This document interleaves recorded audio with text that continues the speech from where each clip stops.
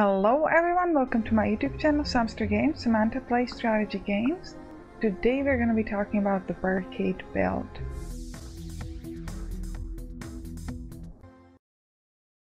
The Barricade build is a build oriented around the Barricade card, which is a rare card that costs 3 energy 2 if it is upgraded, and the effect is that the block no longer removes at the start of your turn. So you have a certain block, like 20 for example, the enemy hits you for 12, and then you have 8 left over, and it's gonna stay there for the next turn. Okay, so usually you can get the barricade card at the end of the first act, after the boss fight. Okay, so now that you have the barricade card, what cards should you pick with it? So obviously you want to pick defensive cards, because you want to build up your block. So things like Power Through, Impervious, Flame Barrier. Flame Barrier is a little bit more expensive as it costs 2 energy. Shrug it off then. And you want to pick one card and this card is essentially which makes the build so much more satisfying to play, so much better. It's what gives you the attack and it's called Body Slam. It costs 1 energy and it attacks the enemy for the exact same amount as your blocks. So if you have a block of 20, you can attack the enemy for 20. Upgraded it actually costs 0, which is absolutely amazing for a barricade build because you can use all your energy for defense, then you use body slam to do the damage. It's actually possible to play barricade build without body slam, but it's so much slower and a lot less fun because it's going to take you a long time. So I'm going to be playing two different videos. One of them is actually with the body slam and the other one is a slight modification and in this modification I actually don't have body slam even though it would be useful even then. There's another very very useful card for a barricade build and it's Entrench. Costs 2 energy unupgraded, 1 upgraded and it doubles your block and that's again it's absolutely essential for a barricade build because if you can get a block like I don't know 20 25 in that one turn then use Entrench to double it you're immediate at 50 and it's just it's so powerful. Another good card is Iron Wave because it lets you both block which is what you want and it gives you some attack. And then there are interesting power cards that you would like to combine with uh, Barricade Metallicize because it gives you a block at the end of your turn usually 3 or 4 every turn. So if you can get this fairly early in the combat. In Barricade the combats take longer, so it can be maybe 5 or even 8 turns. Till the end of the combat you're getting an additional 5 times 4 block, which is 20. Another interesting power card is Juggernaut. It actually costs 2, two energy, so it's quite expensive because you're not able to use 2 defensive cards. But what it does is that every time you gain block it deals damage to an enemy this can be a very good way, especially if you don't have body slam, this can be a great way to deal some damage to the enemy because you really want to focus on defense and this lets you kind of hurt the enemy while you're building up your block. But if you have body slam, Juggernaut is not really necessary. Okay, so now that we know what cards we should pick, what is the actual strategy? How should we play? Well, what you want to do is you want to defend. Essentially, you want to defend all the time because you want to build up your block. Important point with bar barricade is that you don't need to wait. For example, if you have a card like impervious, usually you kind of keep it until the enemy is doing a big attack and then you use the defense. You don't need to wait here, so use your cards as soon as they show up. Especially like the exhaust cards, because there's like no need to wait. And um, that way your deck is to be smaller and then you can quicker like cycle through it to get cards like entrench and body slam and things like that. So don't wait uh, use your cards as much as you can. If you're using cards like entrench which every time you get um, the entrench card essentially you want to use it unless you have like a block of three or five or like nothing then obviously you don't need to use it. But if you have a block of like at least I don't know 15 20 even 10 you want to use it uh, keep in mind that you should use all the defensive cards before the entrench so that you can double that as well. Like if you have 20 at the start of your turn, you don't use entrench now, first use thing like Off so that you can double the defense that Off gives you as well. So use entrench at the end of your turn. Body Slam, again use it at the end of your turn so that you have the highest block you can. And that's what you use for attack. You should always upgrade your body slam cards as soon as possible and you should always upgrade your barricade card because it only costs 2 energy so that you can use the barricade and get some block at the same turn. So always upgrade these things. If you don't have body slam, you're going to attack with regular cards or maybe with some powers like Juggernaut like we talked about. It makes the game very very slow because what you have to do is you have to use like as many turns at the start can be even like 10 turns sometimes to build up so that you can get especially with the entrench so that you can get block like 100 or 200 or something like that. And then you're using your attacking cards to fight. But uh, like I said it takes very it's very slow.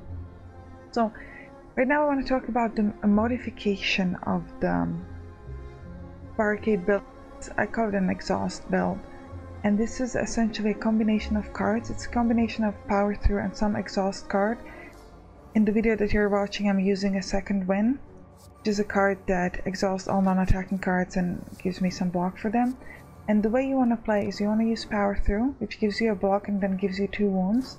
And then you want to use something exhausting like second wind to exhaust these wounds. And the second wind actually gives you a block even just for exhausting but usually you want to use feel no pain and that's what actually gives you the block like feel no pain gives you a block for each exhausted card something like 3 or 4 and uh, so you're using the power to get a block of like 20 if it's upgraded. You get these two wounds and you use second wind to exhaust these two wounds and feel no pain gives you 4 block for each so that's plus 8 block. And the second wind sometimes gives you extra block. If you don't have second wind, you can use other exhausting cards that don't exhaust themselves because you want to use this many times within your combat, so Fiendfire is no good, but other exhausting cards can be great. Or you can even use a relic, medical kit. Medical kit lets you play status cards and then it exhausts them. So you can play power to use medical kit to exhaust them and then feel no pain gives you the block. And don't be afraid to even take two or three feel no, feel no pain cards. If you're using this modification, a fantastic relic is Charon Ashes because it deals damage every time you exhaust a card so then you would be able to do incredible damage as well. And generally, like, exhaust can be a good combination with barricade build. Okay, so now we're gonna talk about the weaknesses of the barricade build. So the first and kind of the main weakness I would say is that, and this is the same for every build that's focused on like one main power card, is that if, if you don't get the barricade card, fast enough within your uh, combat like if you don't get it at the first or second turn. Because then the enemy can do a lot of damage as you're not able to build up your defense and then when they do these big attacks you just can't defend yourself. It can take a while to build up because like I said it's a defensive build, it takes a long time, you're not actually hurting the enemy so all the attacks that they do they will do. It's not like in an offensive build where you where you're able to kill them within second or third turn. You're gonna be playing a long combats. Then once you have a good enough block, you're gonna be able to kill them with body slam if you have it. But if you don't, then it's gonna take a long time. There's a one enemy that I feel like is sort of created to destroy barricade builds, and that's the transient. If you're playing on Ascension 5 like I am in the video, then his first attack is 40 it's already fairly high so it's going to be quite tough to defend against that because the way you fight the transient enemy is that you can use attacking cards and every time you hit him you lower his strength by, that, by that exact amount. For example if you do an attack for like 15 he's gonna hit you for 15 less. And we have a lot of attacking cards that do damage like 20 and stuff like that but we don't have that many defensive cards that give you such a high defense so the problem can often be that you just can't defend high enough. Like maybe even the attack of 30 you can handle, but the next time he's doing 40 and then 50, 60, 70, 80. So he's scaling up so quickly that even if you use the barricade card, you do not have much leftover block or any of leftover block towards the next turn, so it can be quite tough. If you have body slam, it can help quite a lot because you can get a defense of like 15, 20, then you can hit him for 20, so he's gonna hit you for 20 less. If you're playing the exhaust barricade build or you don't have many body slam cards or you just have a bad draw where you just have like even just one turn without any body slam card, you lose a lot of HP. Okay, what are some relics? that are good for barricade builds. First of all, Battle Tornado, because it allows you to get a power card at the beginning of your combat, which obviously is barricade. Yeah, it lets you play the barricade at the start of your combat, which is very powerful, especially because a lot of enemies don't attack at the starting turn, so you can use that to kind of build up your beginning block. Then you would like any relic that utilizes the fact that you're playing 3 skills per turn, because you almost always play 3 skills per turn as you are defending, so relics that if you either gives you dexterity or do damage or give you block anytime you use three, three skills. Any relic like that is worth a buy. Another interesting relic is Anchor. Gives you 10 block at the start of your combat. That can be good, especially if you have the Battle Tornado, because these this 10 block will remain if you can get Barricade on the first turn. Now, I want to talk about two relics that seem like great for barricade build but actually aren't, and that's Orichalcum and Self-Forming Clay. They sound great, right? They give you a block, so you want to buy them if you have barricade build. You shouldn't do that. The reason is Orichalcum becomes essentially useless in a barricade build because you should at almost every turn have some block left over. That's why you're playing barricade build, because you are blocking enough so that the enemy can actually hurt you. So Orichalcum is not going to do anything. Self-forming clay is the same. It gives you a block next turn if you got hit this turn. And well, in the barricade build you're hoping that you don't get hit at all or you get hit like once or twice during the combat.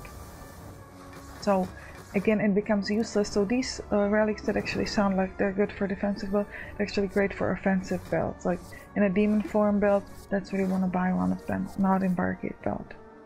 If you're using the exhaust modification, then any kind of relic that does something with exhaustion like Charon Ashes. Medical Kit is good so that you can play status card. Even a Blue Candle can be good so you can play some curses, exhaust them, and get some defense from that. Okay, so what is kind of my review, my look on the barricade build? Again, just like with the demon form build, this is a fairly basic build, like this is what you use the first time you win when you even don't know how to play the game. It can sometimes be very slow, especially if you don't have the body slam, but it's a very good build. I feel like having a good barricade build should essentially guarantee you a win, especially if you're playing on like no ascension because it's a very solid build. It gives you a lot of protection, a lot of block, so you shouldn't lose too much HP, so you should go into your combats fairly healthy. The only like big problem with the enemies is the transient and um, you can have some trouble also with the double Earth walkers because they scale up so it can be quite tough to defeat them as well. But if you have something like Body Slam and you can get a defense of 30 at the start of your turn, then you can smash them fairly quickly.